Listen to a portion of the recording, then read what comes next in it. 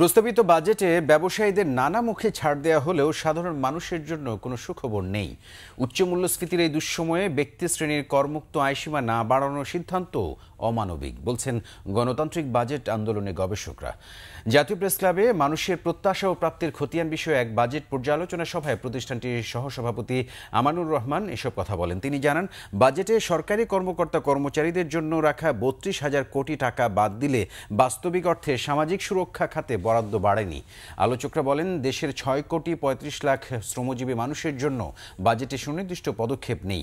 মূল্যস্ফীতি নিয়ন্ত্রণেও নেই যথাযথ উদ্যোগ। শিক্ষা ও স্বাস্থ্য খাতে বাজেট বরাদ্দের সমালোচনা করেন তারা। বন্যাসহ অন্য প্রাকৃতিক দুর্যোগ মোকাবেলায় বাজেটে দুই হাজার কোটি টাকা বরাদ্দের প্রস্তাব দেন আলোচকরা।